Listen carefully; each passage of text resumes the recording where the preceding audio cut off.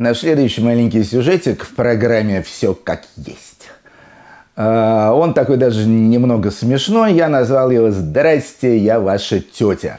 Касается это дела отравленного российского шпиона полковника Скрипаля. Ну, вы знаете, что отравили нервно паралитическим газом его и его дочь Юлию. Кстати говоря, пошли они на поправку. Юлию уже вроде даже выписали. Скрипаль тоже пришел в сознание, скоро начнет давать показания, судя по всему. Это, наверное, хорошие новости. А забавная новость состоит в том, что в этом деле появился один персонаж абсолютно комичный. Это некто Виктория Скрипаль, родная племянница Сергея Скрипаля. Она работает бухгалтером – живет в Ярославле.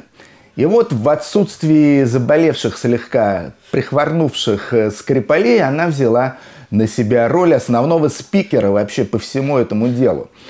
Женщина из Ярославля, как я уже сказал, я сам ярославец, я уроженец города Ярославля, очень его люблю, и женщин тамошних люблю. И вот Виктория Скрипаль мне очень напомнила мою ярославскую тетю Елену Ивановну Усикову, урожденную Троицкую. Э, то есть она настолько же яркая, боевая, я бы сказал, такая напористая, если не сказать нахрапистая. В общем, короче говоря, показала Виктория Скрипаль всем Кускину мать. Ну, для начала, да, замечу, что в Англии она никогда не бывала, и до последнего времени у нее даже не было паспорта. Сейчас она его сделала э, и подала на английскую визу. До этого она озвучила несколько интереснейших версий дела Скрипаля. Первая касалась того, что у Юлии Скрипаль есть женишок по имени, кажется, Степан. И вот родители этого Степана, они очень не хотели, чтобы их родной сынок, а он, по-видимому, из какой-то номенклатурной семьи, чтобы он женился на дочери врага народа, то есть предателя Родины. И вот они всячески, значит, были против этого. И по версии Виктории Скрипаль, они-то как раз и отравили Сергея Скрипаля и его дочь. Крутые, крутые родители у Степки, могу ему только позавидовать.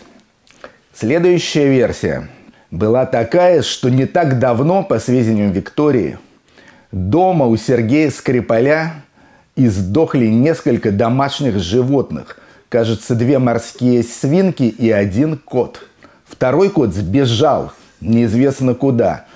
И вот это, кстати, тоже, как вы понимаете, очень и очень подозрительно. Сначала животные сдохли, потом их хозяева чуть не сдохли, да? В общем, а, есть над чем задуматься Скотланд-Ярду и всем остальным заинтересованным организациям. Эти две версии, как-то их э, отечественное средство информации массовой информации не очень поддержали. Ну, возможно, они показались не очень заслуживающими доверия, что ли, особенно про морских свинок.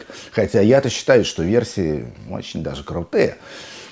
Но вот третью версию Виктории Скрипаль поддержали очень многие. И вышли, значит, всякие статьи на куче всяких ресурсов, и дошло это даже и до газет и так далее. На самом деле это просто пищевое отравление – ну, естественно, в Российской Федерации пищевые отравления, особенно во всяких школах, детских садах там и так далее, происходит очень часто.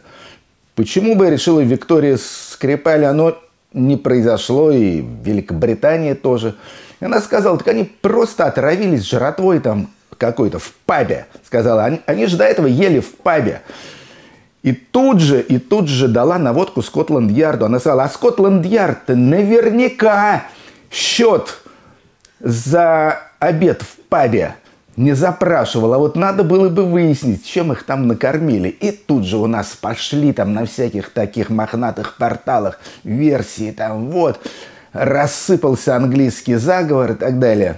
Виктория Скрипаль, кстати, их тоже в этом смысле опередила. Она сказала, вся эта история с отравлением моих родственничков, она закончится отставкой Терезы Мэй. Это она сказала уже после того, как англичане отказали ей в визе. Так что я могу понять разгневанную ярославскую женщину. Тетю Лилю я тоже неоднократно видал в гневе. Она была страшна. Я думаю, попадись ей Тереза Мэй на пути. Да, премьеру бы досталось... Э, мама, не горюй. И тетя Лиля, дай вам Бог здоровья.